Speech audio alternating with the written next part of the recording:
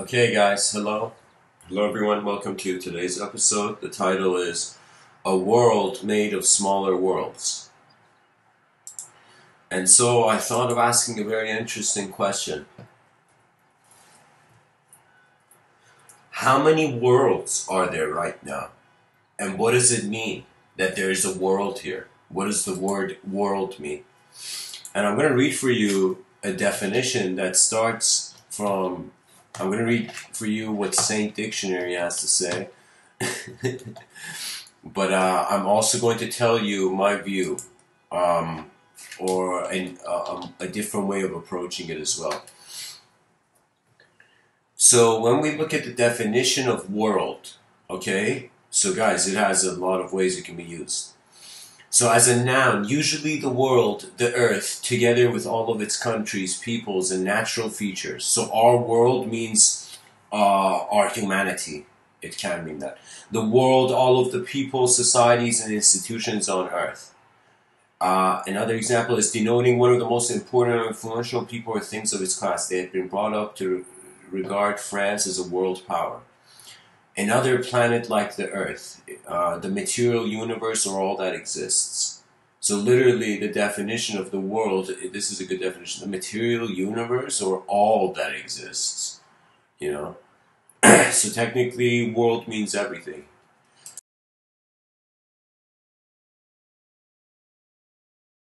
A part or aspect, this is the second way of a second definition a part or aspect of human life or of the natural features of the earth in particular.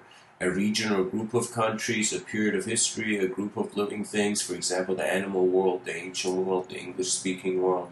These are examples the dictionaries the people places and activities to do with a particular thing they were a legend in the world of british theater human and social interaction. So it can even be perceived. These are all the various lenses, I guess you can see. Uh, you know, it, it's like we don't only have the definition of words, uh, how we kind of like what they mean. It's also the emotion you had when you uh, when your mind kind of accepted meaning in phenomena.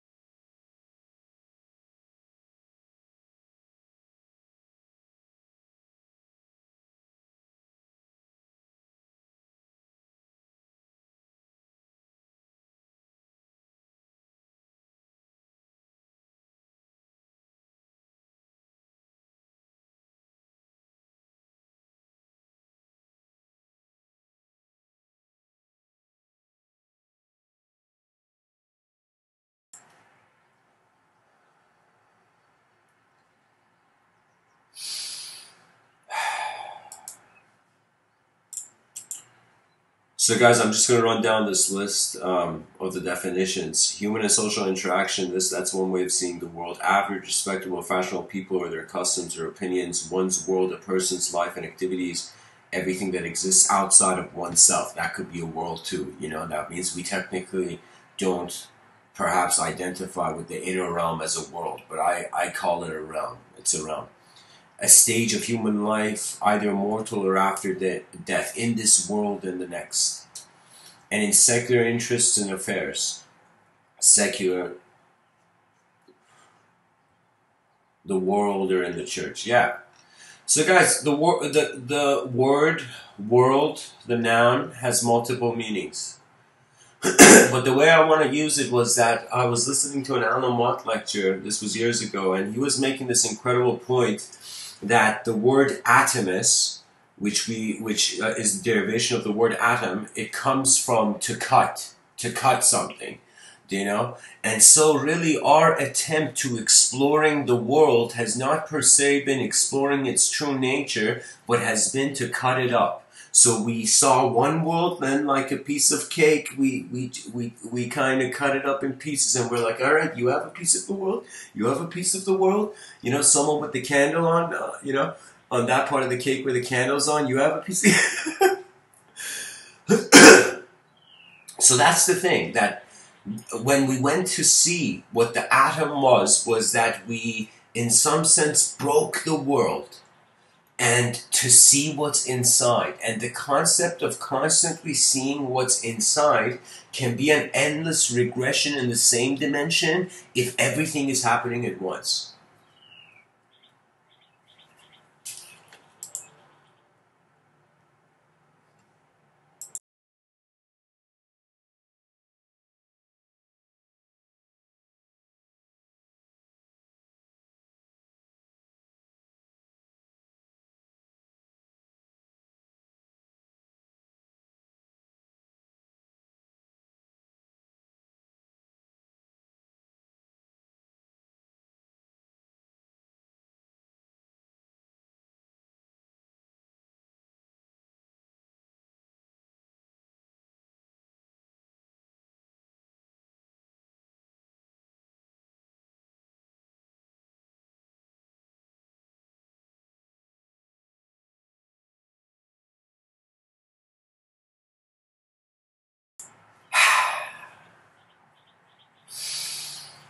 The world is made of smaller worlds, you know? And not even necessarily smaller, it's just the world is made of worlds. There's two simultaneous angles. I can see the organs of my body separate, or I can see them all as one functional body.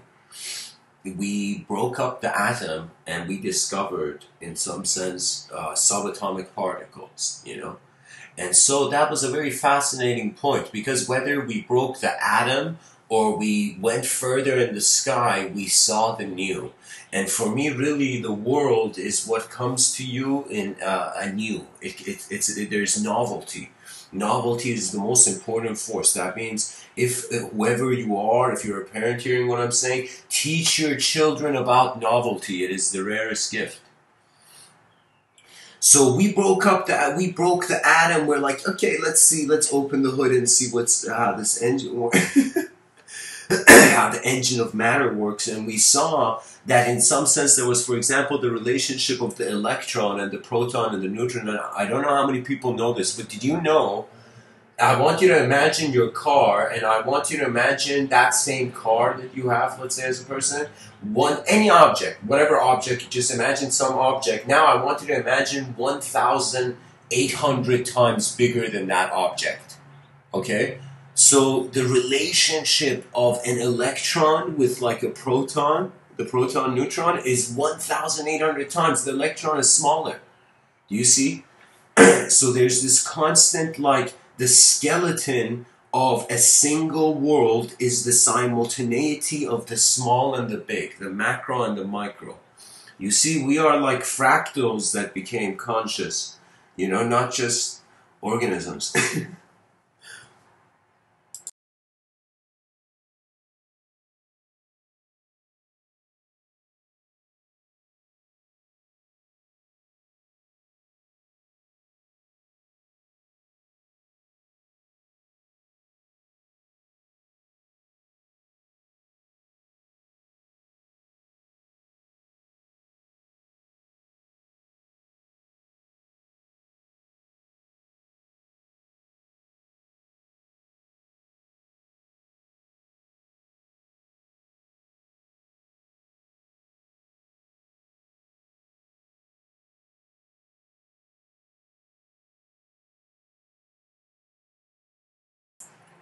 for me, life has kind of been this uh, strange game.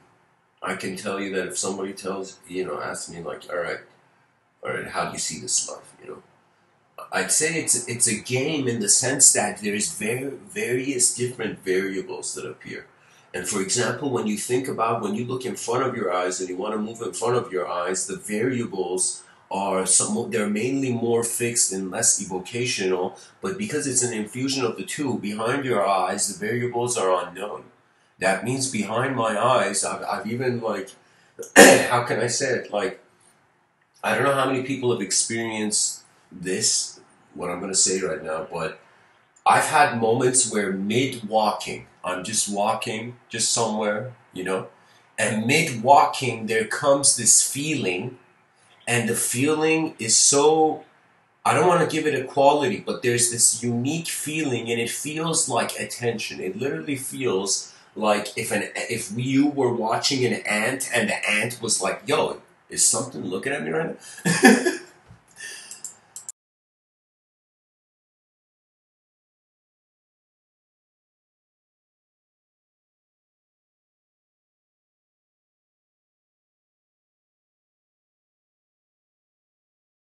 You know, I, I thought about something hilarious, guys, one day, one day. I thought about like, you know how if an ant, if like let's say you're you're like you're you see a bird on a tree and the bird suddenly imagine it talks. Okay, you would be like, whoa, is this bird talking to me? Or let, let's say you see an ant and you're like, yo, is this ant talking to me? and so you we would get scared, like shocked. We would get shocked. And I feel if man is an ant to the higher worlds, but he acknowledges the, uh, any sort of higher plane, it will cause a shock factor. I feel God is shocked that man uh, considered a position.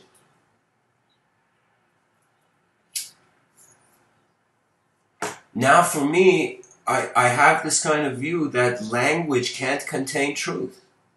It doesn't mean language is not true. It just means it cannot contain the truth of a changing world unless the language has come from a state beyond time.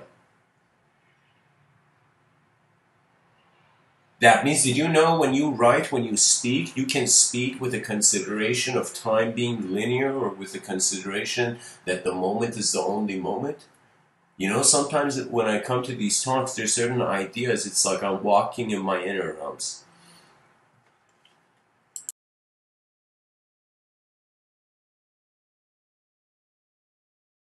And kind of how you walk in your inner realms, it's literally how your attention moves before your body does. Right now, my attention can move through the body. If I want to see what's behind me, my attention is moving through the body but I could hold my body still and there could still be something that moves.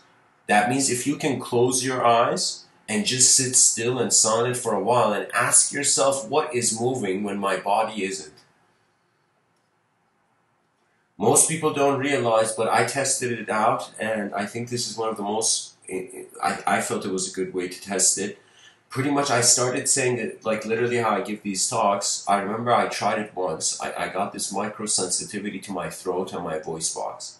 That means I was suddenly waiting. I was like, wait a minute. I'm, when I'm thinking, is my voice box micro moving? And I tested it out, and this is how I tested it out. I, I started saying a sentence. Let's say whatever. Let's say you say A, B, C, D. And then I was like, A, B, C, D. And then I was like, A, B, C, D. And then I was like, A, B, C, D. And then I was like, and then to a point where literally there was no sound coming, but the throat was moving, and I noticed that we don't realize how sophisticated our voice box, our voice box is, is connected to the brain. It is incredible. I feel when a person is asleep and they dream, and in that dream, they they, they are feeling like they're communicating with something in their dream state like let's say they're talking to some some figure in their dream or they're moving in their dream. I feel that is uh, literally in in reality the person on the bed even though he's talking in the dream i feel the voice box is micro moving that means that abcd that i kept saying at a lower volume and eventually reaches a point where the volume is so low you can't separate the, the, the saying with thinking do you know that means it's like I don't know how clear that example was, but you can kind of try it out. It's like let's do it with numbers. Let's say one, two, three, four, five, and then start saying this at a lower volume, lower volume, lower volume. Eventually, you will reach a point where your mouth is open but there's no sound, and then eventually you reach a point where your mouth can close and you're still saying it. So for me, I feel what is thought Thought is literally how your mind, whatever happens to your body, is still moving. Your mind's life doesn't stop. Your body's life does at some point. So this is why the mind and the body must find the greatest allegiance. You must just suddenly open your eyes and see what are you waiting for? Who are you waiting for? Who can you wait for? You know? There's been days where I've kind of looked at the sky and wondered when my saviors will come, you know? And then the next day I woke up and I realized the situation didn't need a savior. I was I was good. you know? So it's it's momentary. A lot of our ideology is in the moment. I think we're such multidimensional beings that we're all conscious the universe is changing and that's why we're compassionate. We empathize with the fact that we change. And when anybody can change, who are you discriminating? Sometimes I look at, the, uh, for example, racist ideology, and we see this because, for example, I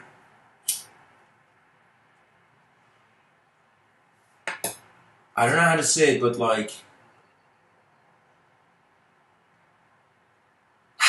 we are still reacting to color. Like, I, I don't get it, guys. Like, I don't understand uh, this is this may sound intense, but I don't understand racism.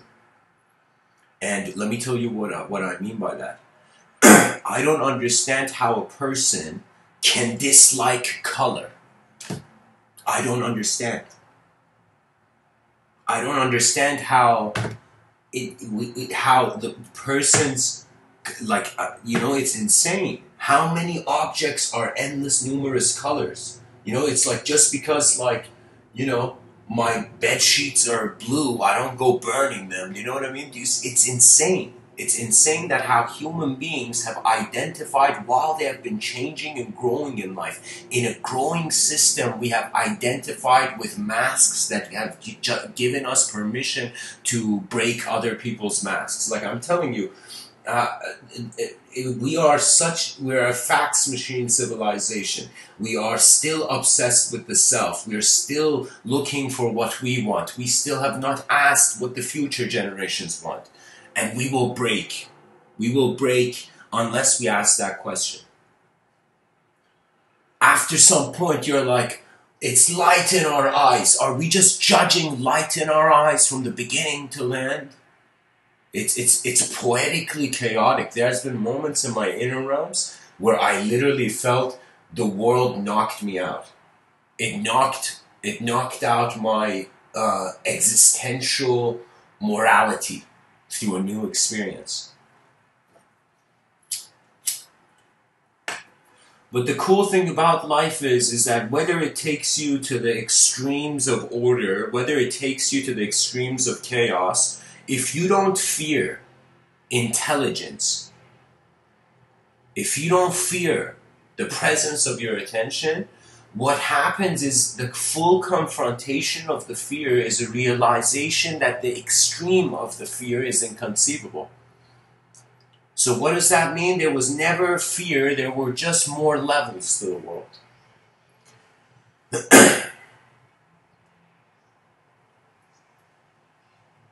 I ask myself, who am I when I speak?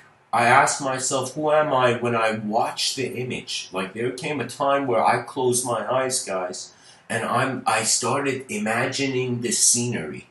I was I was imagining light, light on like a, a, a, land, like on a field, in my mind. So I'm I'm closed. My eyes are closed. Literally, no light is entering my eyes. But in that pitch black abyss, I'm seeing an image. And it's this kind of realization that we need light to get a basic uh, foundational image.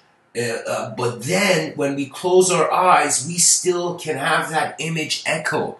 So the mind, you know, like when I close my eyes and I imagine light, how can I see that light in my imagination? How can I see that light? Do you see? So seeing doesn't have to do with only the eyes if you can close your eyes and still visualize. So that means our eyes are more than the sensory. And if our eyes are more than the sensory, that could suggest that either the self is multidimensional or the world is multidimensional, or what I like to call the best po- possible option, both the world and the self are multidimensional. And we have feared it. Right now, we're at a point in history where it's hilarious. We're not fearing the world becoming multidimensional. You know, we are fearing the self becoming multidimensional. And that's the beautiful thing. That's how traveling is going to be a myth. in the future. The fact that there were travelers is going to be a myth with the emergence of a recognition that energy is present as a field before its particles moving in that field.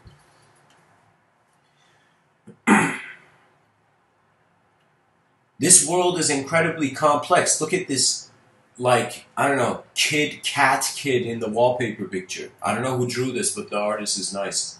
Whoever knows the artist, write his name in the chat section so I can, or comment section, and I'm gonna find the guy's name. But I'm, I'm telling you, this this artwork was incredible for me because I have had many moments where I have been alone and I have been staring at civilization. Do you know? It's like you don't know how many silent walkers there are in this world, how many silent travelers that the world never sees. For every one person that we hear, do you know how many voices we don't hear? Do you know with every person you help, how many people you there's still left? It's messed up. It's messed up that the world is has become conscious after 4 billion years of evolution. We have become conscious, and rather than moving towards peace, we have been more still breaking each other into pieces.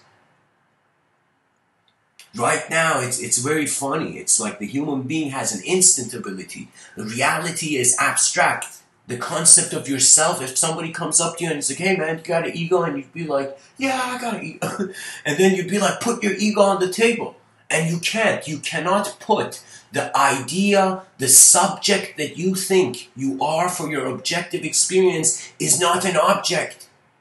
And here's the dangerous thing it's the evolution in the way we're defining the, the experience of a subject. If the experience is distant, our inner realms are defining it. If the experience is close, then you don't need the inner realms. It's it's like, do you know what I mean? It's like you. It's like once. Think of it this way. Imagine you're um, completing a math exam. If you know what it is, you don't worry about the problem. Do you see? So on some level, there's no such thing as knowledge because everybody has their own DNA, everybody has their own rare alphabet of all the experiences they've had, and they are processing what is happening to them. And then we come to the similar language. So let me tell you, all knowledge is language. All knowledge. Just like you, you, you learn the alphabet, that's what history is. History is an alphabet of events.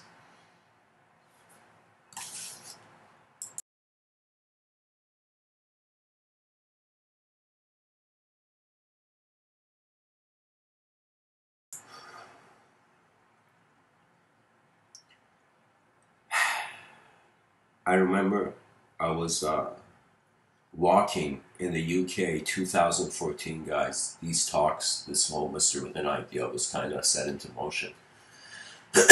and I was living in Birmingham, UK at the time. And Birmingham, UK, I would advise you um, uh, anybody who goes there more than a week, stays there more than a week, you better have a good reason. it's not per se the safest and the most best place. You know, there's there's savageness in morality due to ideological differences, you know. So I remember when I was in the UK and I was I, I was in Birmingham, I would give these talks and I would walk around and kind of explore the city, and there were these kind of um, I'm just going to tell you what it was. It was there were these Somalian, for example, um, uh, like I don't want to say gangs, but there were these Somalian groups that made the environment unsafe you know because human beings they have different levels of savageness. Some people may not realize this that um, even though uh, that we are becoming a globalized kind of world community we're having people from all different kinds of nations going to different nations you know and so what does this mean? That means different levels of experiential intensity right? That means it's like uh, it's like just like how a young child, it's it's heavy for them to lift up an object, you know but that same child when it grows up it can lift that object. Similarly it's the same for subjective experience. Your experiences suggest your familiarity your familiarity suggests your contentment. So behind all knowledge there is a direct experiential level where knowing is is being processed it's not even being processed linearly. That means I was like, are you telling me when I was when I studied Jung, Carl Jung, I was like, Jung, are you telling me are you telling me that this whole time I've been thinking my consciousness is my life and there's the unconscious? And that there's also uh, uh, you know of course Carl, I don't think Carl Jung used the term subconscious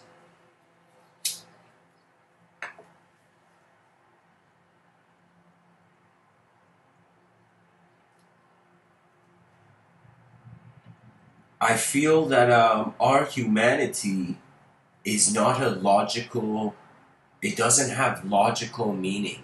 It has a meaning only when it's active.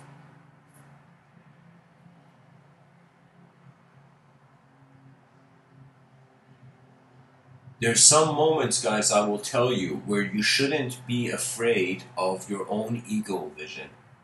Now, eagle vision is a concept where it was I, I noticed it was like the idea was there in the in like this this film called Assassin's Creed and it's also a game it seems you know? So this this idea of eagle vision was like literally the guy would go on top of a tower like Batman in this in this kind of uh, cyber game digital game uh, Assassin's Creed, the main character goes on top of a building and then jumps like an eagle into a stack of hay, you know. And so, but the way I was using the term eagle vision, I was literally using it in a natural way. I was using it like the vision of an actual eagle on the branch compared to when it's flying in the sky and it sees knowledge. And that's what uh, you know, Mr. Within is trying to do here. I'm trying to tell you that you can be the the eagle of your own mind. You can look at all phenomena as your whole moment. That's the ego being in the sky. That's why I say your mind is as endless as the sky. Or you can be like the eagle on a certain branch of knowledge. Just like how you can enter a room, you can enter an identification with how the environment is moving. And so there were certain shamans, and it, I, I, I don't know how to say this, but I could tell you from uh, the poetry of the eyes of another life that some people spoke to the world and they did not speak to it through the through an alphabet of through a language. The language the world speaks to the shaman through events through events. That's why the those who suddenly are noticing the Jungian synchronicity of I don't know, the dude looks at the clock and he's like, "You telling me it's five five five right now?" really, what that is is it's the synchronization. It's when your inner realms trust the outer realms.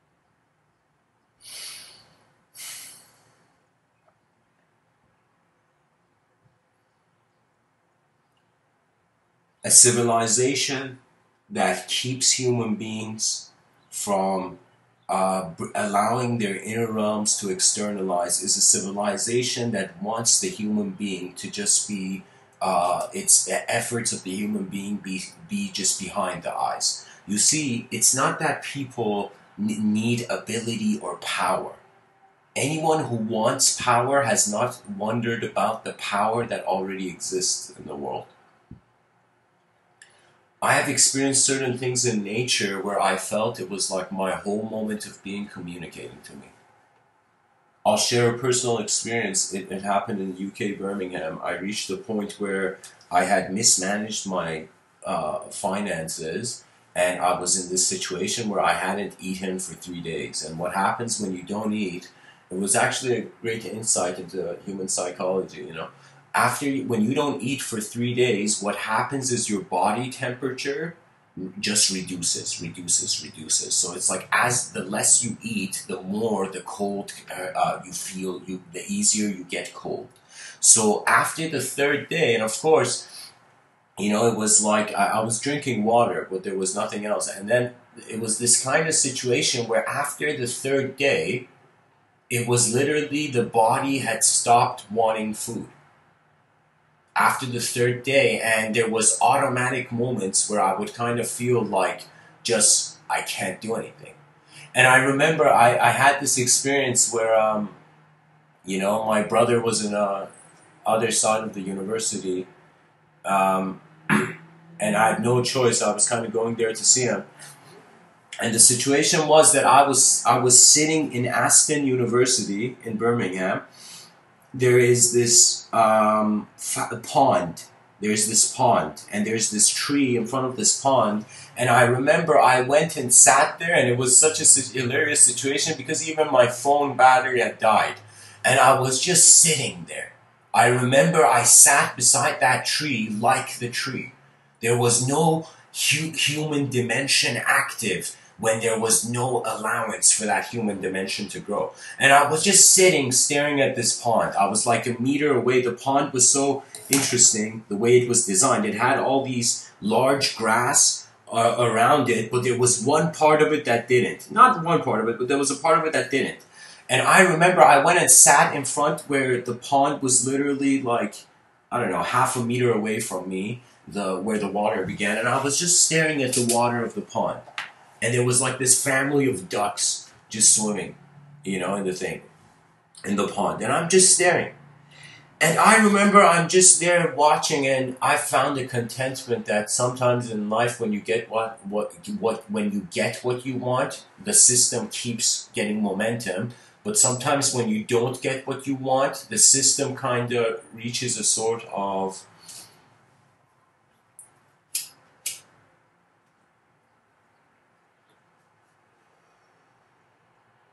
When you don't get what you want, you you just watch. You're left as the watcher.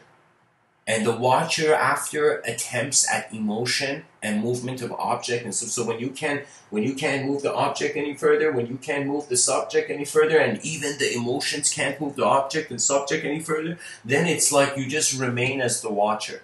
And that was the experience I had. And there was suddenly this moment, not suddenly, but there was just this silence Now, here's the thing. Here's what I mean when my moment was speaking to me. How I felt my moment of being was speaking to me. Guys, I was sitting there, and from behind me, this bird flies, this sparrow. It flies from behind me and literally goes sits on an empty bench. So literally, I'm just sitting there. I notice this bird fly from behind me. My eyes like like a laser beam, imagine, like was following the bird, and I saw the bird go sit on an empty bench. And then there was this instant feeling in me go and sit on that bench. So I saw this sparrow fly from behind me. I was sitting on the grass, cross-legged, and then I saw, I saw the sparrow fly from above, from behind me and above my head, and it went and sat. It literally, the sparrow landed on a bench, and I just trusted that moment, and I just went. I literally got up and went on the bench. After literally I had gone two meters, the whole family of ducks stepped out of the pond exactly from where I was sitting, as if I was blocking their way. And I remember that was a moment where I was in, internally crying. Not externally. Externally, after a point, you're like, why waste the moisture of the face? You just internally cry after a while, you know? It's okay to release the emotions. It's okay to be a po- be a poet in a poetic universe. But I'm I'm telling you, there's moments where some emotions it's healthy to express them. Some emotions, when you express them, you dishonor yourself. So the human being has to realize that you are a performer in your own eyes. You are the performance of your eyes, literally. a slow hand clap for all these eyes performing in this world, guys.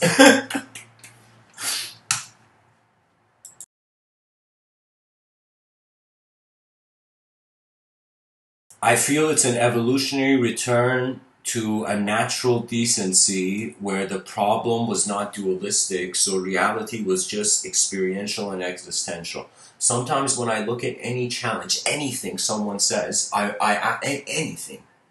Uh, first, the first thing I'm okay. Here's the thing. These are kind of Mr. Within's. Like I was thinking of designing this course on advanced communication, but I'll I'll tell you this people don't speak through words.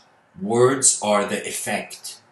What's causing language is uh, an inner film. And this inner film is kind of like this attributeless field like attention witnessing movement. It's a micro sensitivity to movement, and that microsensitivity towards movement makes you associate with stillness. So we think right now we are just the biological body, but we don't realize we're not the body because this body, like a candle, is illuminating the whole room. So the mind kind of feels like the world to us. Your world and your mind feel like simultaneous, do they not?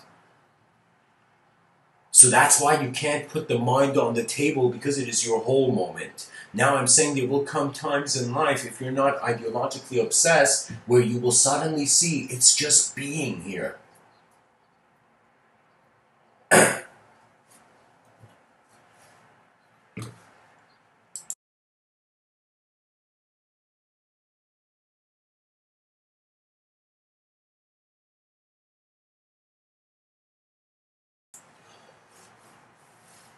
There's this poem by this poet named Jalaluddin Maulana Rumi. 700 years ago, the Sufi mystic poet said, I died as a mineral. I died as a mineral, and I became a plant. I died as a plant, and I rose to animal. I died as an animal, and I was man. Why should I fear death? When was I less by dying? I shall die once more, to soar with angels bless. But even from angelhood, I must pass on to that which no mind has ever conceived. We are evolving towards the inconceivable as individual object and conceivable subjects. We are not just the dance of matter in space, and we're not just the space moving the matter. We are the rare moment in that in the cosmos where Eh, imagine this. Everything has been happening. All these people running towards oneness and unity. Let me tell you for eons it has been united. For eons it was just one unconscious event. And it was only when we went through a phase of an objective evolution where nature was like all right i'm gonna have this part of me have legs and walk over me. And nature and so what happened was we were designed to walk on this earth. We were designed to be separate by earth. It's as if the earth wanted us to go uh, like a bird, fly out of the nest of unconscious movement. And so your consciousness is your greatest ability. How you are conscious, it's like, what else can your divinity be? Where can it be? Ask yourself, if life was an illusion, where is the illusion? And ask yourself if life was true, where is the truth? And you will see. Man, our species should not fear the inconceivable. It should not fear the unknown because evolution is the entrance into it.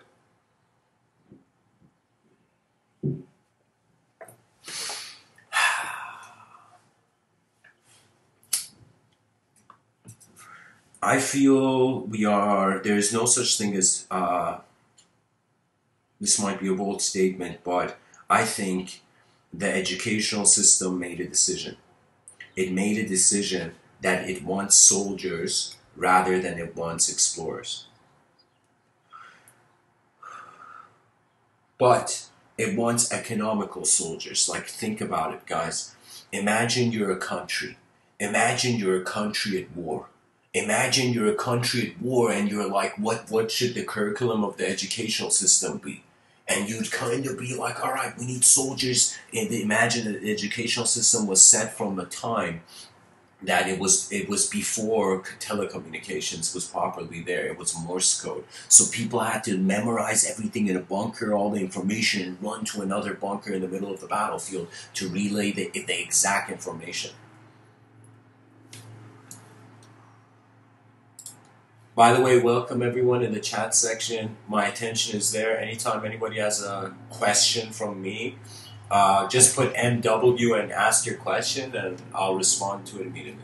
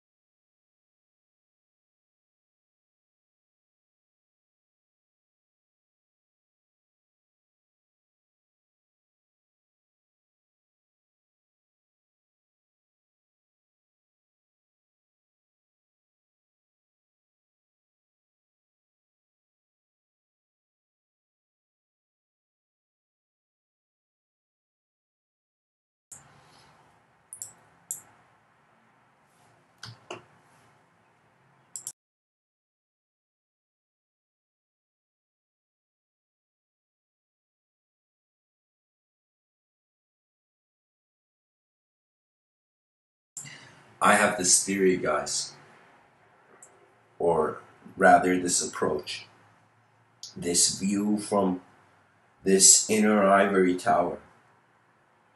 And I feel there was idol worship, there was object worship. Human beings looked at objects and were like, yo, this object is God. This object is the only truth because my attention is on the object. And it was as if the object, the idols, were slapped out of man's hand, as if people came and said, Don't worship an object. You kidding me? Then what happened is, what happens when we stop worshiping idols? Do we stop worshiping? You think the worship has stopped? No. We started worshiping language. And we're a civilization that has been idolizing language, idolizing words. Truth was first thought to be an object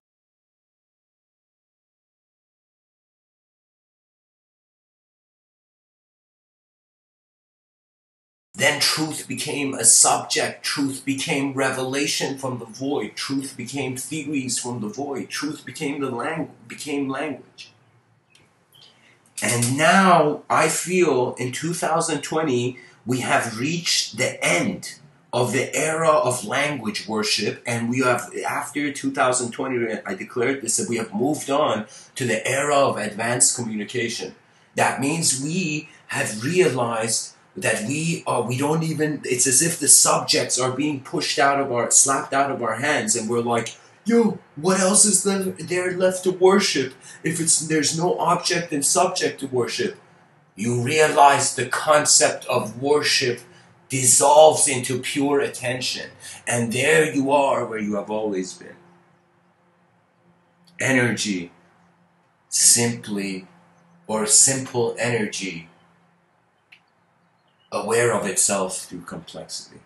You let your mind be at ease. You salute your own intelligence for the effort of its continuity so far. this might be a strange idea, but I salute uh, literally every cell of my biological existence before I sleep. Not before I sleep, but there's moments where throughout the day I just, it's kind of like you bow to the moment as if I see you, world. I see you. I see you today.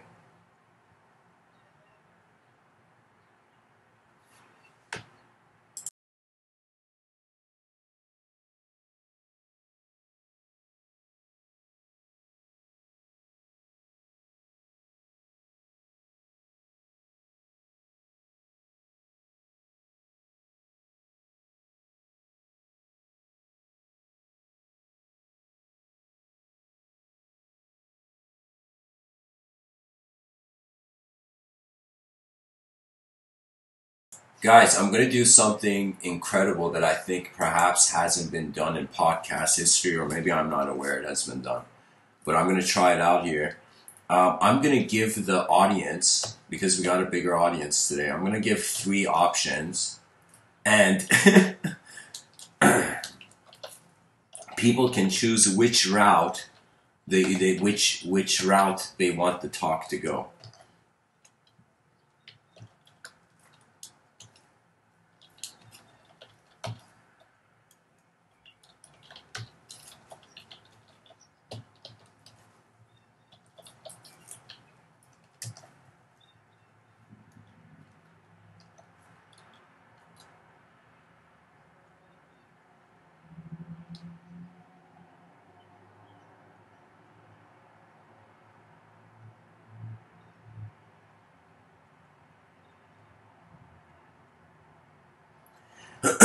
um, okay, so John, give me a second. Let me just write the third option and then I'll respond. All right, let's see. What were the avenues I wanted to take this talk? There, there was a science fiction. We, we could see the future of the talk. We could see the past, or I would say the unknown present.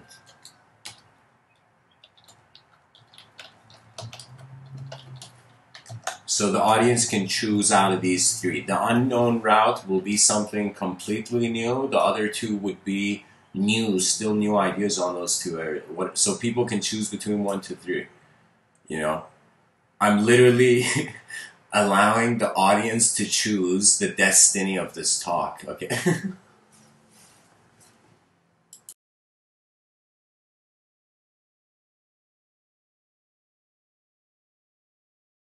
so guys, John John Moss in the ch- chat section chat section says, um, "Watch out for art." Craig used to say, "As soon as they start doing art, we're in trouble." Symbolic thinking of any kind would signal downfall. Craig's view lit in a mop, but that will have to wait. Next, they'd be minting idols and funerals and grave goods and the afterlife and sin and linear being and kings and then slavery or snowman longs to question them. Who first had the idea of making reasonable fac- fac- facsimile of him of snowman average or what, what does that mean?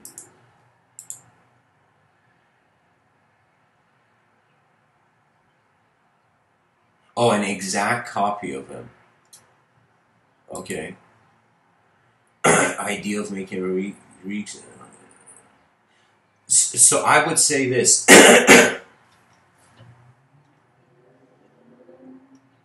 so John, I would say this. Here's the thing. It's not that Craig was taking it too far. I think Craig perhaps maybe was an empiricist. I'm not that familiar with his work, but he seems to be an empiricist. What does that mean? That means he feels that the movement of any sort of the movement of thought. How would I say it?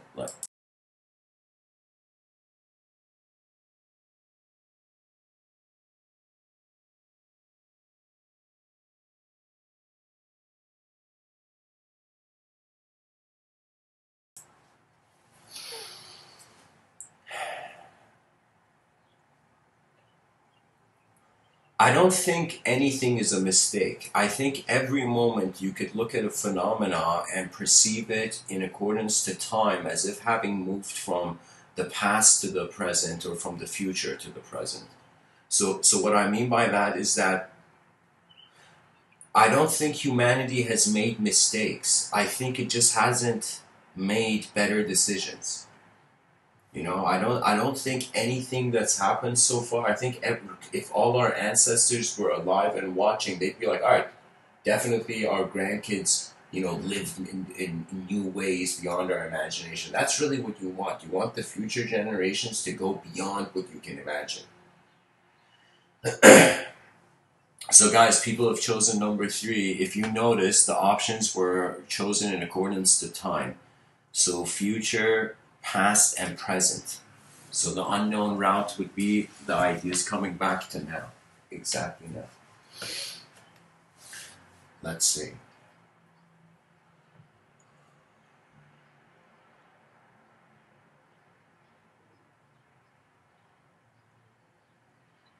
Sorry, guys, I haven't ate breakfast. If you hear extra noises, just assume it's the stomach of the birds outside.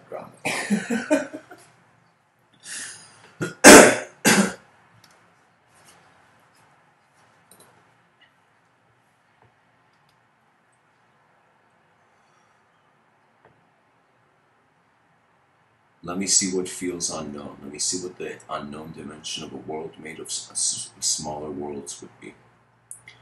The unknown dimension would be literally us moving beyond the concept of a self and a world and entering a new space where we either create a new relationship through a new language that has an acknowledgement for higher dimensions of consciousness. What does that mean? That means we need to first, where's my pen? we need to um, we need to study the system. Then we need to study ourselves in the system.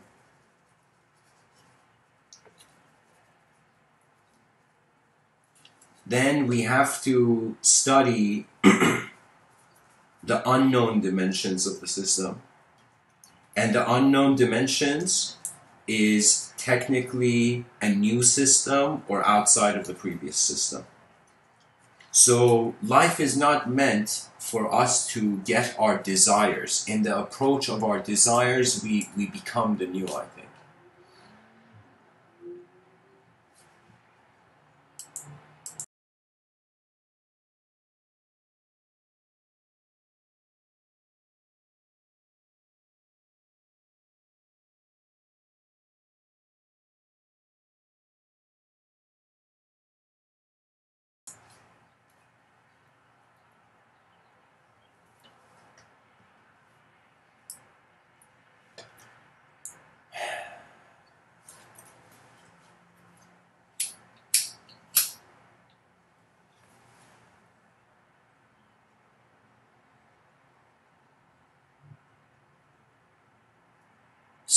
Silence kills time.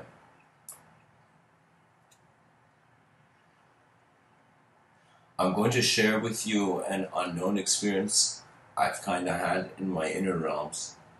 There was a time where I remember I was, uh, it, this, this was the whole inspiration for the first book I ever wrote, uh, which was called The Great Work, and it was a very strange book. um, I'm probably going to give it like you know put it for free for people to see what it's like anyways it's a strange book and the way it was inspired was i was at my table literally just uh, what do you call it fixing paper like you know organizing paperwork on my table. And instantly i get this vision of this meteor in space this meteor in space and my attention inconceivably is witnessing that moment. That means i'm witnessing the moment but not as a as a material form in that moment.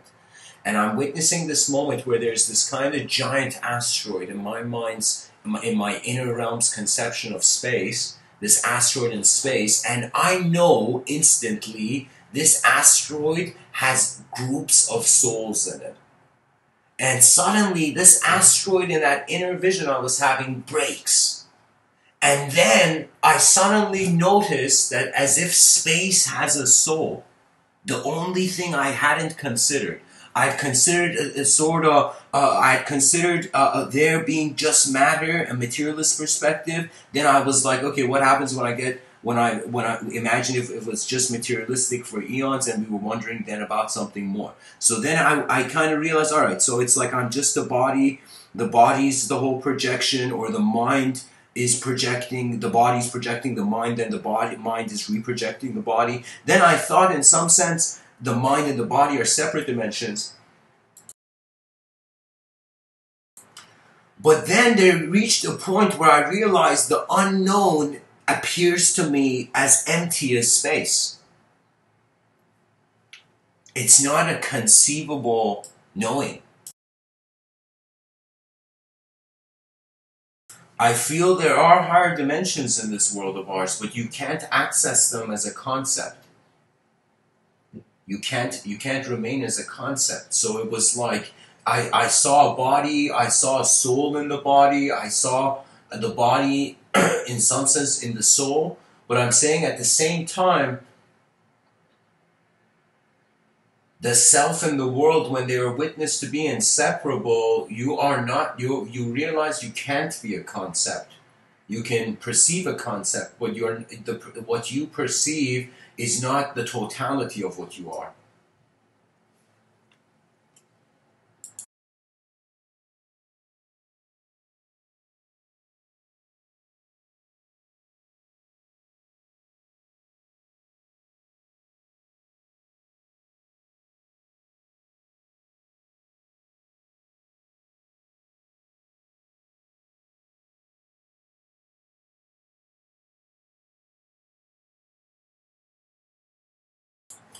All right, guys. So an interesting question uh, in the chat section.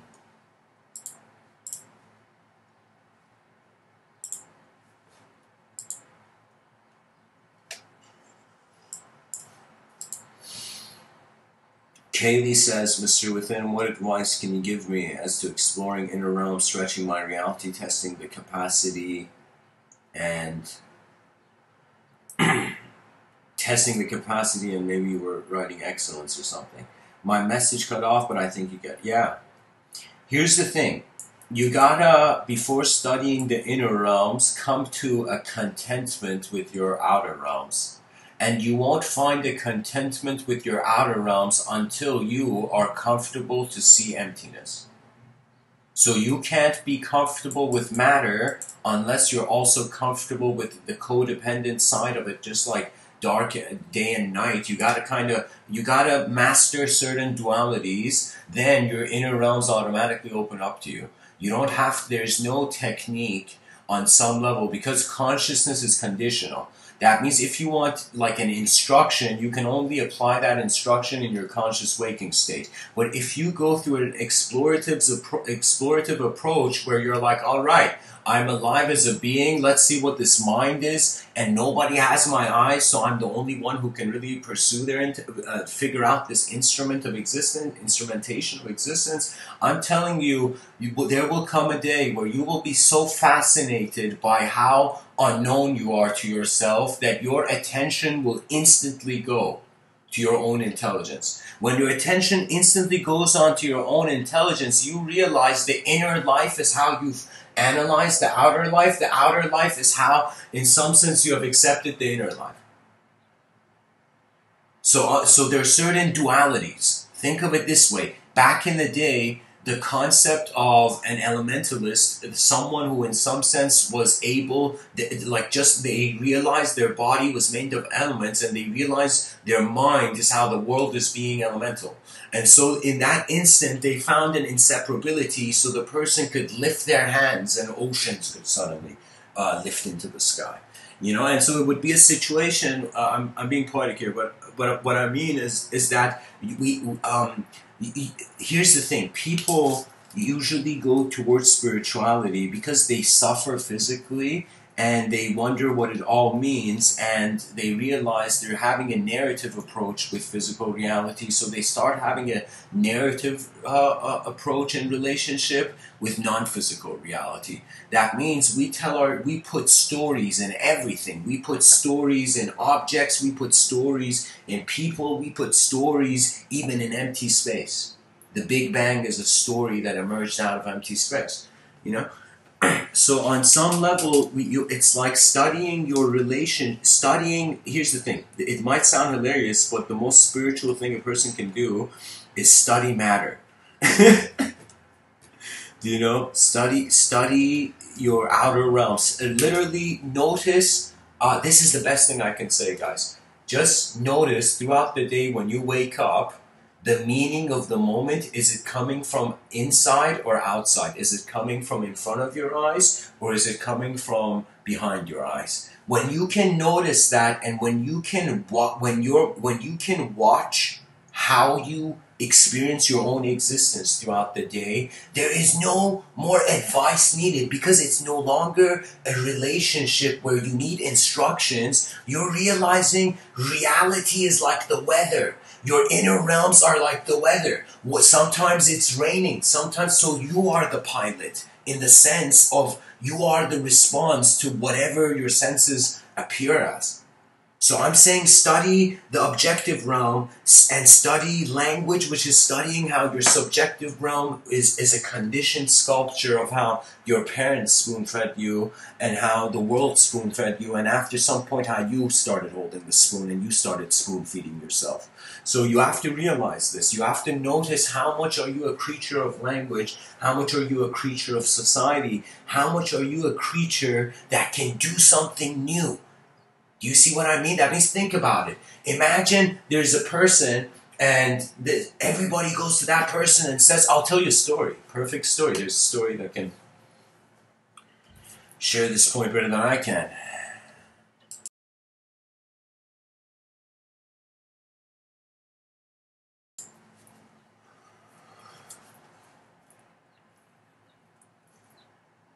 Sometimes truth is a paradox. Sometimes truth is the paradox, you know?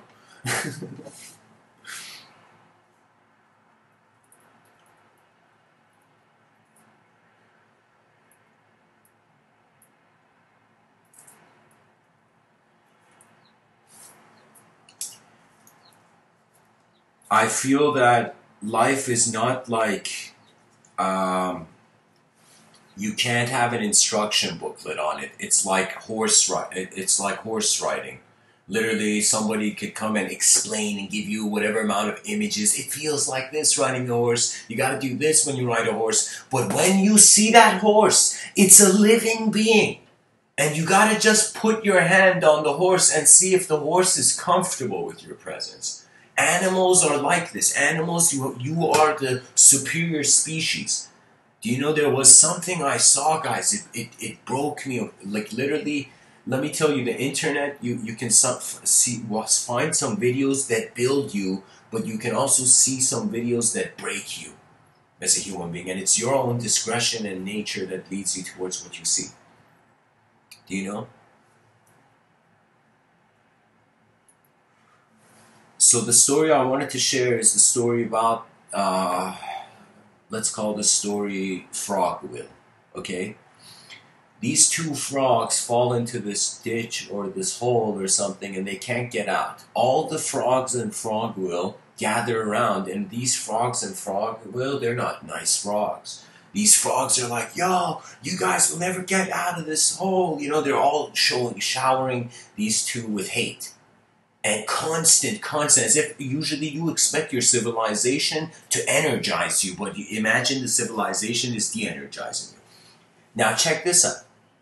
All these frogs gather around these hole where these two frogs are trying to jump out of, and they're constantly negativity, hate. You know, it's like you can't do a dead frog walking, you know? like all this stuff. You know, all this, all this uh, resistance. Now, what you see is both frogs are trying to jump, trying to jump. One of the frogs suddenly stops. It gives up. It lets go of its hope. And it goes to a corner, it closes its eyes, and it goes to sleep and dies.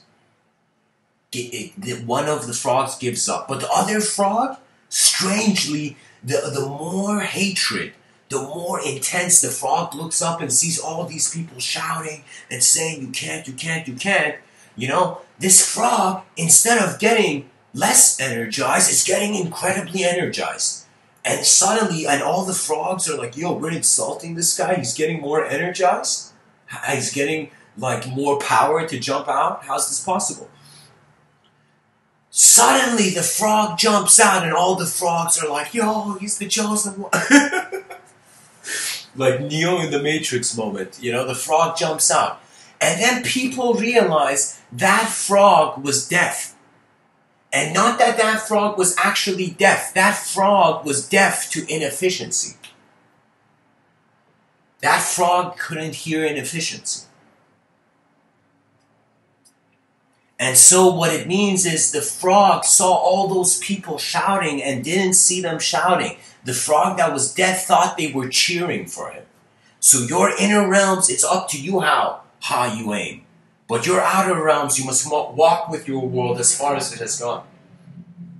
So your outer realms, you must kind of be a superior being behind your eyes, and be, you must. Here's the thing: it's like back in the day, people, uh, certain swords, uh, imperial, like certain swordsmen, they would have their sword, sword masters, they would have their sword, but they would not use it. They would only use it at the presence of other mastery. That means an incredibly skilled person holds back the skill like a sword only when there is someone of the same skill level. They they bring the sword, and you see this in uh, uh, the spirit of rhetoric throughout history. You know that when man realized how advanced his mind is, the mind was the game changer. The mind was the game ch- changer where it was suddenly intelligence. It was about information. To be honest, all knowledge is what information means to you. And what information collectively can be agreed upon. So I would say it's just kind of you realizing nobody has your DNA, nobody has your eyes. It's self inquiry. And self inquiry means you're used to identifying with the self through states of movement and noise, through speech and intense movement. I don't know how many people uh, on this planet uh, throughout their lifetime just find a moment to sit and watch. You're in this random film. We're on a rock in the middle of nowhere. We're in a sphere on a vacuum wearing watches. It's scary, guys, but fascinating at the same time. And so, really, I asked myself, what am I left to do? And I look at, I remember there was a time I was wondering, what's the purpose of my life? Very poetic, kind of emotional moment, you know? I'm like, what is this purpose? You know?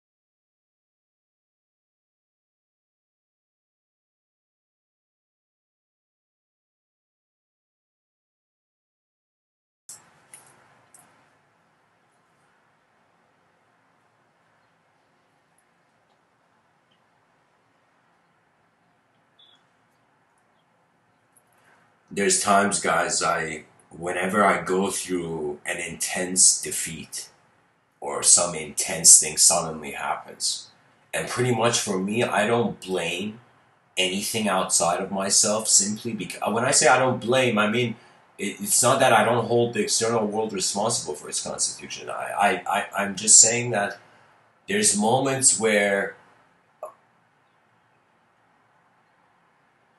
I don't know how many people have felt empty in a world where there's only existence. In a world that is filled, we feel empty. In a, in a planet with 8 billion people, one in three people in Japan is dying out of loneliness in their building. It's intense. And I'm wondering why. It's because the educational system trained soldiers, it did not train uh, advanced communicators. We think our education comes from just seeing the image. No, you have to draw it. There's no greater way than to explore for yourself. I'm telling you, you can't remember anything if you are using an outer method. You have to find the first your here's the thing I say you got to find an honest world to live in and then your true life begins happening. When your true life begins happening, because you're not deviating from your nature, you trust it. Because you're not doing something that you feel resistant about, you in some sense trust your moment. When you trust the moment, the, your full intelligence applies. So I'm telling you, it's not that people are stupid or smart. There are people who trust what's happening, they, they look at what's happening and they trust the intelligence, and there are people who don't. And that's the thing. That's the tragedy. That it's the image fed to people. The mind has no class. The mind has no hierarchy. The mind is awareness. That means on some level, it doesn't matter how atoms move. We have to give them freedom. I was like, yo, I'm, uh, this body is giving me freedom to be a conscious being. I'm going to give this body freedom. If the body wants to dismantle any moment, I, I, am, I, I have given it its freedom. Its freedom was not even up to me on me to decide. There's so many things in this life where it's literally storms you're walking through, and it's like the winds become heavy and you lunge to hold yourself in those winds. And after the winds finish, you can walk. And that's the only advice that you can give this uh, this plane of existence. One, you're the pilot, and two, it's chaos and order. Those are the wings of the bird. That is the simulation of the cells flying in the world. You know.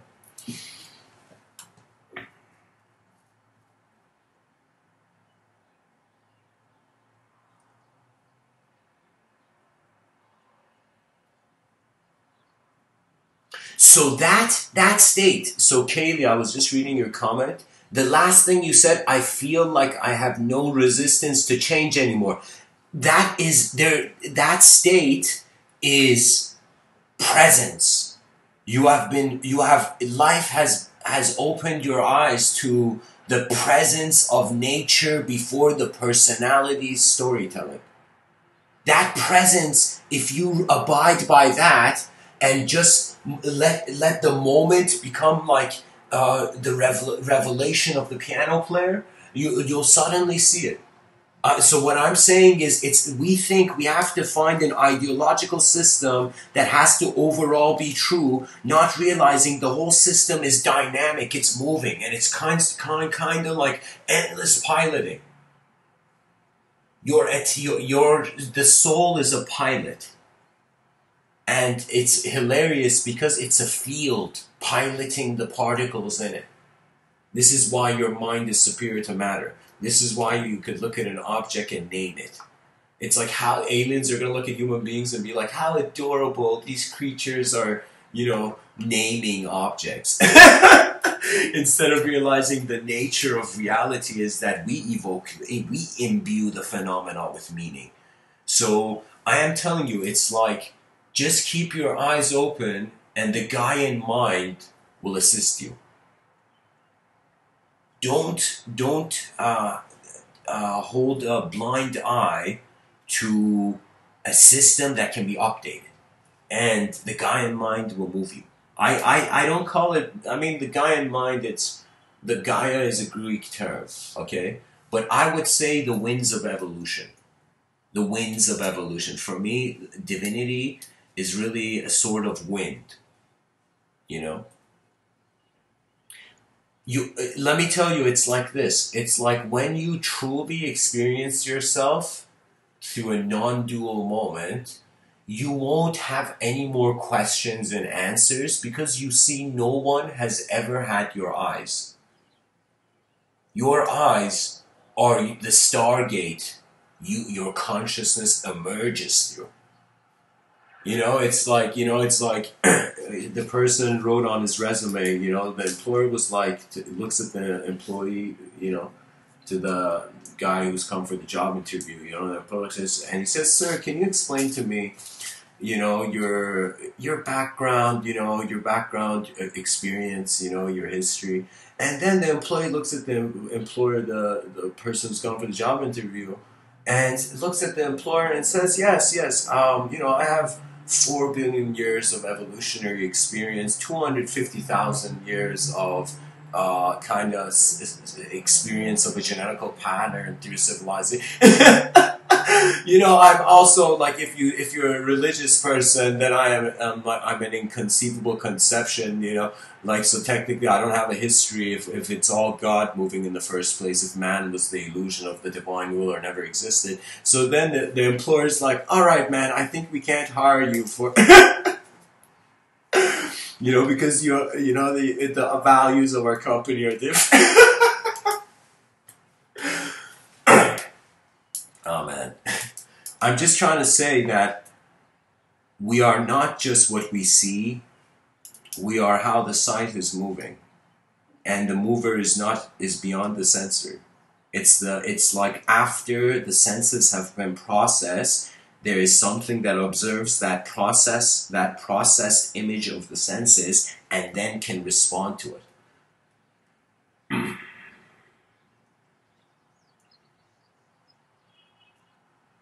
I would just say, just rea- just just listen to to the music of your own mind. I mean, just see how your mind is happening. Really, I'll, I'll here I'll tell you the story. Shri Nisargadatta Maharaj, this man was a cigarette salesman in India, and he was like this poor, very poor person who's just every day w- w- waking up and going to a cigarette tobacco shop and selling t- uh, tobacco, right? And he was in Indian culture, and in Indian culture, they have this something that I, I when I went there, I felt like I kind of felt strangely like at peace, you know, because there was an acknowledgement of uh, the the Atman, you know. there was an acknowledgement that uh, energy could be one intelligent phenomena before it is separate, whether it's in the form of one human or another. So, so anyways, Shri Nisargadatta Maharaj, uh, one day a friend of his comes and says, hey man, there's this God-conscious person, let's go find him. Let's go talk to him, you know, like there's this guru. So Shri Nisargadatta Maharaj goes to this, I don't remember the guru's name, some guy, in, in some guru, and the guru looks at Shri Nisargadatta Maharaj and this humble, kind of simple, poor cigarette salesman, you know, uh, tobacco salesman. He, and, and in that moment, uh, what's his name? The guru looks at Shri Nisargadatta Maharaj and says, uh, what does he say? He says, study yourself every moment of your life. Study yourself. And Shri Nisargadatta Maharaj just bows silently, kind of in awe, as if he's been told something he never, he never wondered about that deeply. And so after that, Sri Nisargadatta Maharaj was no longer uh, a, a, just a person selling cigarettes. Even though he was living his normal life, he had also accessed an inner quest. And that inner quest was to really see how meaning is being generated for, uh, for you. For example, I'm a person who I, uh, I when I was younger, I didn't like reading. And then, and everybody would tell me, all right, man, slow down, read it, you know, slowly. And years later, I started just, just out of my own kind of maverick style of wondering about the opposite. I, I kind of like, at that moment, uh, what do I say? I started re- attempting to read a book as fast as I could.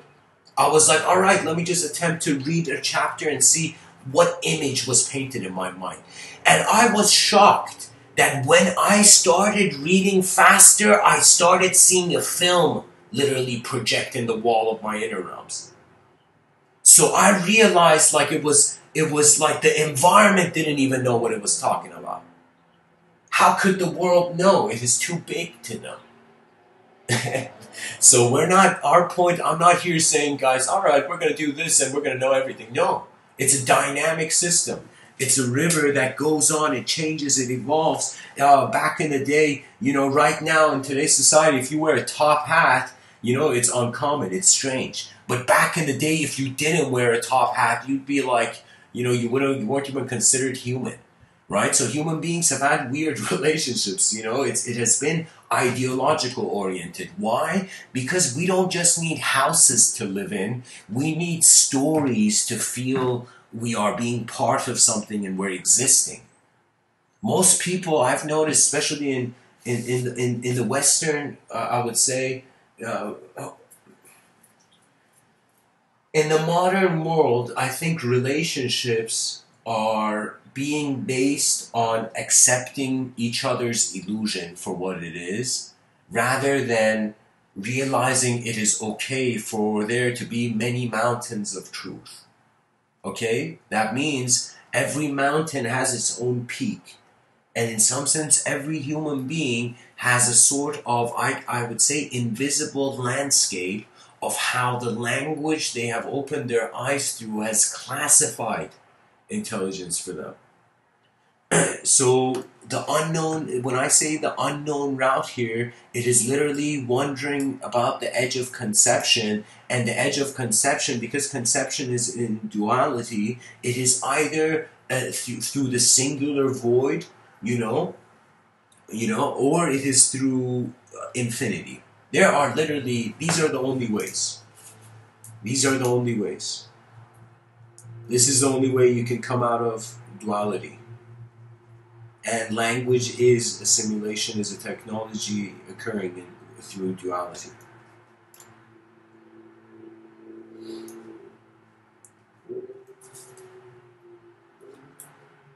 I don't know. I feel the greatest teaching of life is that it is neither the object, it is neither the subject, it is how the whole moment is being alive.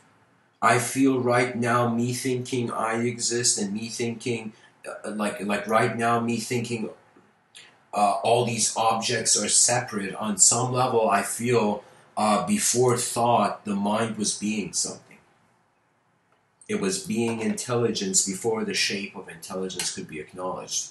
So we were intelligent before we could even measure the intelligence. Even measure it, like it's hilarious, you know? It's like, guys, check this out. Let's say we want to measure intelligence. So that measurement is limited to the measurer and it is limited to the one being measured. So the measurer's intelligence is suggesting the intelligence of the other. So there is technically no such thing as uh, measurable intelligence. We're all different eyes uh, perceiving a different dimension of the earth.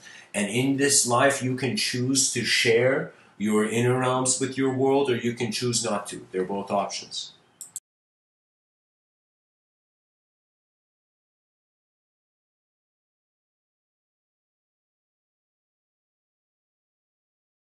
I'm trying to get this renaissance of massive communication going. I was thinking, like, let's say,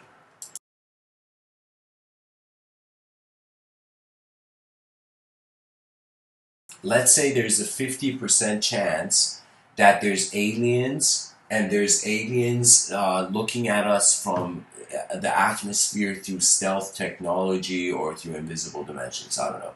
Somehow let's say it's a coin flip. It's 50-50 now let's say the aliens are watching. Let's say right now instead of fermi was like where are the aliens? Instead of fermi's paradox imagine if, if there were aliens but we could not see them we knew we knew we were being watched we knew just like we look at the ant there's something looking at the human being now i was thinking if i was looking at the human being from a distance from an aerial view, imagine every person listening right now, imagine you were 200 meters in the air and looking at just the earth. Imagine in the future jetpacks become so common, like everybody has a jetpack. Your phone becomes a jetpack. I don't know. you open up the jetpack app of your phone and your phone becomes a jetpack. I don't know.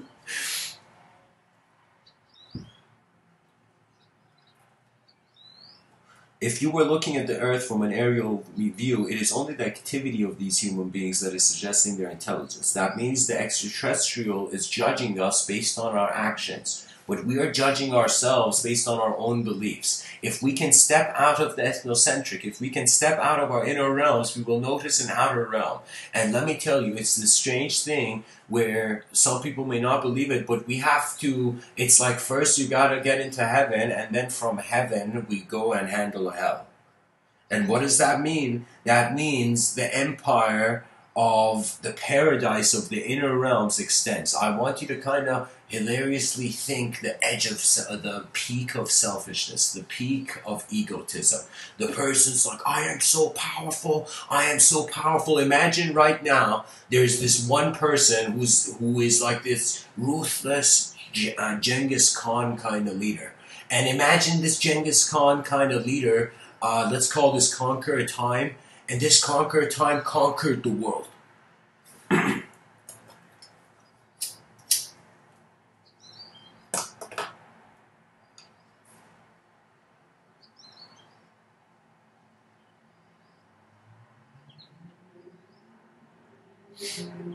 if aliens attacked that conquer would be ego is good for defense.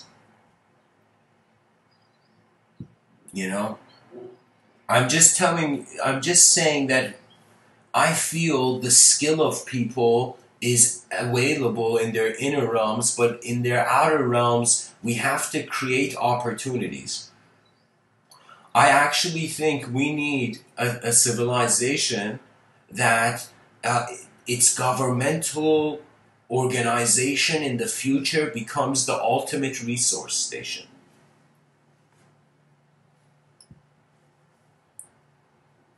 It is only through giving that you change life. That means you gotta give some effort, you know? Even if you want to water plants, the gardener has to make an effort. You see, so effort is the most basic thing. Now imagine you master effort by just being in the moment and being like, all right, I'll let the unknown speak first. And when the unknown speaks first, you are not a creature of thought.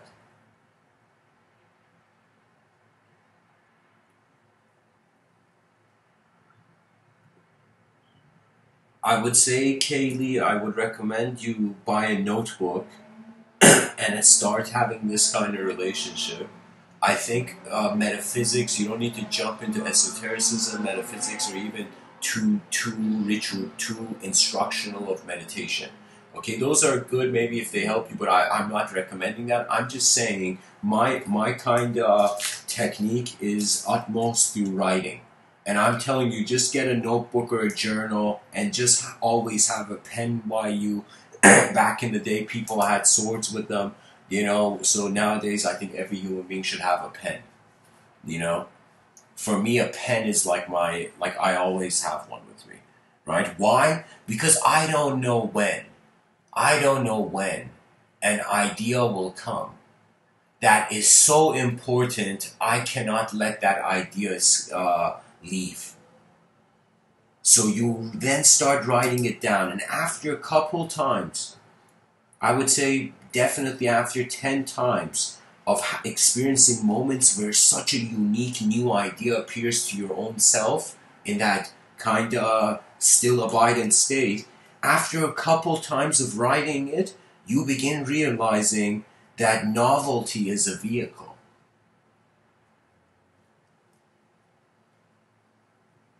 Because it changes the location of meaning. It changes how meaning was first local and it becomes multi local.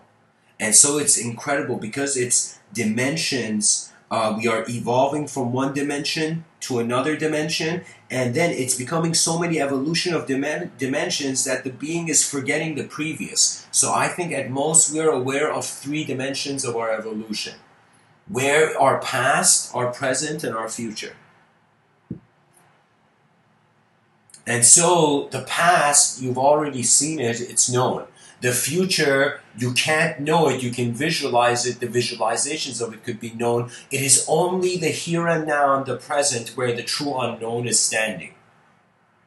And only in a sort of sorry guys, I'm I think I should go eat breakfast.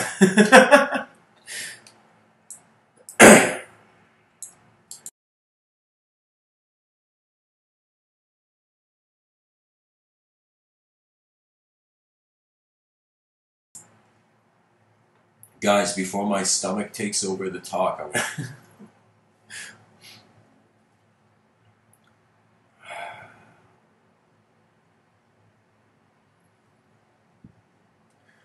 Just to end the talk, guys, the world is made of many more worlds. We thought we had to be one thing, but in life, you're not just an image, you are the processor of the imagery. And so when you study your own senses, what greater teacher can you find? In Sri Nisargadatta Maharaj, he says this thing where he says, When I see that I am nothing, that is wisdom. When I see that I am everything, that is love. And in between, my life moves. So when you notice that in between, Aldous Huxley also points to that in between state. Aldous Huxley says there's things known and things unknown, and in between are the doors of perception. So Sri Nisargadatta Maharaj and Aldous Huxley both came to the doors of perception. when you remain in the doors of your own perception, you begin learning not just from order and chaos, but how they are codependent and how to every chaos there is an order and how to every order there is a chaos. Because again, as Rumi says, a bird needs two wings to fly. Your mind needs chaos in order to exist as a dynamic character with unknown variables. So, anyways, guys, I hope this talk was uh, helpful, and let me just see if I did justice to the subtitle. Yeah. All right, guys, have a good day, and uh, thanks for tuning in. Much blessings and those.